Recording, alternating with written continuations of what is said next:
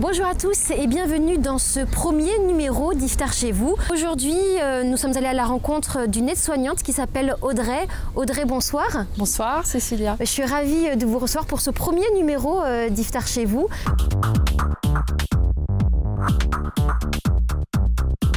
La conversion, on va revenir un petit peu sur les, les origines de votre conversion. C'était il y a presque six ans maintenant Oui, il y a presque six ans. Moi, j'étais quelqu'un, euh, je fumais, je consommais de l'alcool. Ah, J'ai touché le fond, tout simplement le fond, le fond du fond.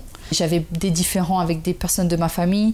Ça, ça m'a permis d'aller même renouer les liens. Vous êtes reconnecté un petit peu à l'essentiel peut-être Moi, ça m'a calmé. Je, je suis bien là. Et c'est vrai que depuis que je me suis mise dans la pratique de l'islam, j'ai plus eu besoin de tout ça. Souvent on dit ça, les, les convertis euh, sont ceux qui ont cherché la droiture. Vous, en tout cas, c'est cette foi, c'est cette foi-là qui vous parle.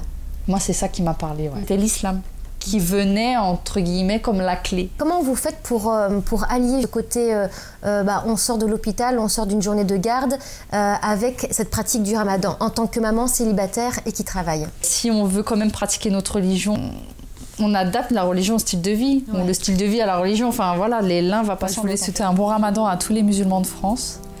Et euh, j'espère que euh, ceux qui pratiquaient pas trop euh, leur religion, ce ramadan-là va leur permettre de se reconnecter avec la foi. Qu'Allah vous facilite le jeûne et que- qu'il vous donne la santé.